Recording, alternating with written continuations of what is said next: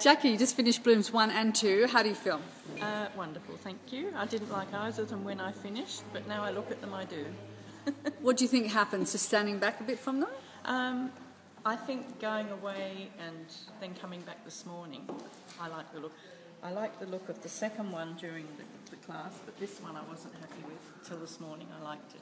Well, I thought you did a great job on the blending because at first you started out and you were finding hard to see the colours in those folds. I'll just stand back for a sec to show them.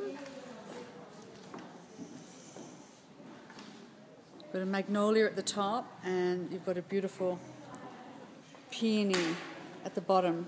So interestingly, both paintings really relied on shadow and getting that right amount of colour in. So you selected quite a challenge for yourself. But yes, well, I, I love that sort of thing, and I would have liked to have done more colour here. But when you stand back and look, you think, no, that has to be um, less colour than the forward ones because it's in the back. Yeah, and we're so following it's the. quite right, isn't it? Yeah, yeah. Well, good job, and um, looking forward to working with you in the 12 month program. How exciting! I certainly am too. I'm very excited. Thanks, Jack. Thank you, Jack.